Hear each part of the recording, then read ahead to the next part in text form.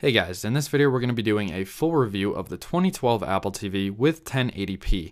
Now this thing does retail for $99, not a bad price at all, and as you can tell it has a very nice design, very small package, and compared to an iPhone 5 you can tell that this thing is a very small package and it's pretty thin, not as thin as the iPhone 5 of course, but it does have the power connector there on the left side. It has an HDMI port and an HDMI cable does not come included with this, so keep that in mind. It does have an optical audio slot and also an Ethernet port. Now looking at the remote control of this Apple TV, you can tell that Apple does go for the very minimalistic design.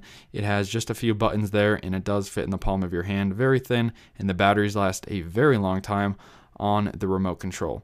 And obviously you can go up and down and uh, select stuff and you can also move the icons around on the screen here just by holding the middle button and moving them wherever you want to fit your desires.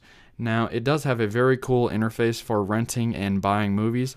You can rent movies for pretty much five bucks in HD, and um, buying movies obviously depends on the price of the movie.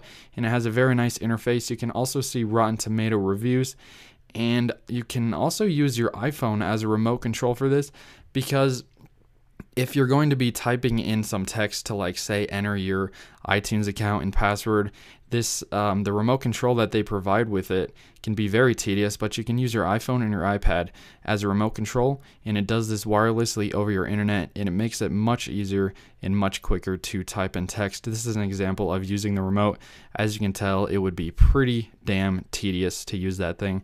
You can also use this as an AirPlay device. So as you can tell right here, I am uh, wirelessly pushing the content on my iPad and mirroring it to the Apple TV. So that is a really cool an awesome thing that you can do with the Apple TV and AirPlay mirroring. Now, the next thing we're going to be looking at is the interface. It's very simple and very elegant. It's very easy to find everything on the Apple TV and find the content that you want to watch. Of course, you can browse through Netflix, Hulu Plus, and there are things that are going to be added in the future because Apple wirelessly adds new content to this thing. You don't have to update it to get the new things. So, guys, what do I think of this? I think it's well worth it. I think the price is great for 99 $99, you get all of this stuff and it's updated regularly. It's very affordable for the price, and I think an app store is going to come in the future. I hope you guys enjoyed this video. Please subscribe. Thank you for watching.